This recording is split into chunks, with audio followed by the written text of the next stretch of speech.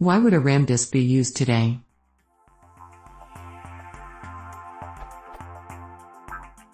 After reading this question, I started thinking hey, what happened to those RAM disk utilities we used to run in the old DOS days? I haven't heard about RAM disks for years until today, but why? Memory is still faster than disk and we have a lot of both. Why aren't RAM disks more in use today?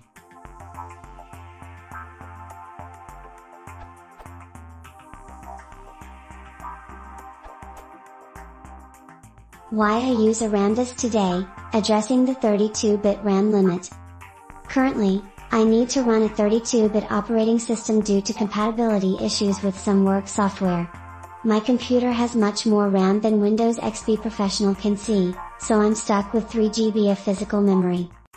When the 3GB wall is hit, then the computer will move to use the page file.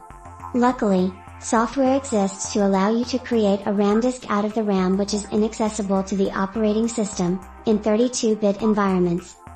Superspeed has a program called RAMDisk which will allow you to do this. Another option is the Suite RAMDisk software, they both slightly differ, see the features list to see which one meets your needs.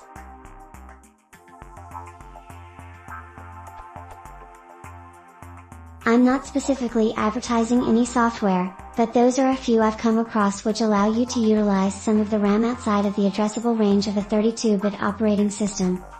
While it's not nearly as good as having the OS directly access the RAM, having a RAM-based page file is much better than a hard drive-based one. Scratch files, one more reason, applies to 64-bit as well.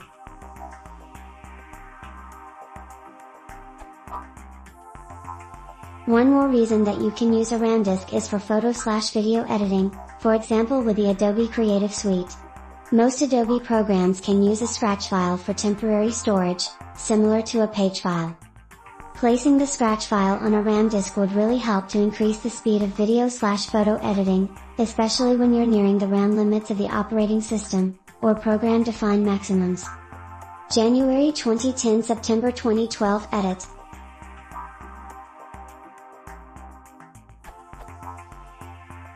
I recently came across this website, the patch was removed but I have mirrored it on my website here, which allows you to patch the Windows 7 kernel to allow the PAE of your operating system to extend the 4GB barrier. See this article mentioned in the previous link for more details on the actual mechanics behind the patch.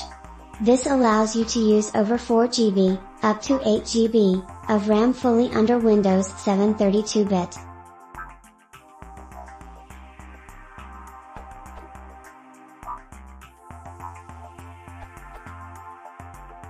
One really good fundamental reason why RAM disks aren't very common, you're better off using the memory as disk cache.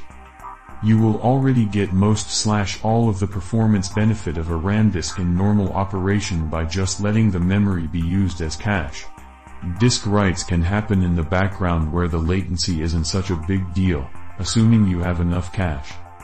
You might still use a RAM disk in specialized circumstances, no writable disk.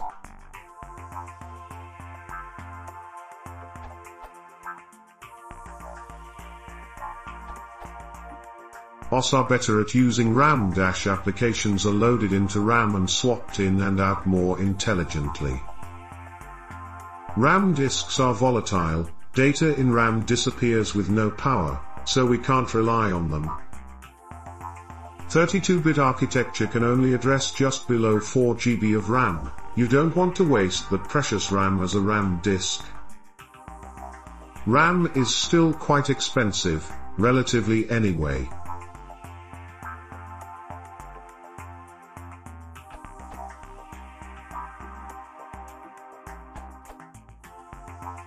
On Linux there's a file system called TMPFS, which is basically a RAM disk. As its name suggests, it's frequently used for slash TMP, because that folder only contains files that don't need to persist on reboot. Live CDs use a RAM disk for their entire hard drive.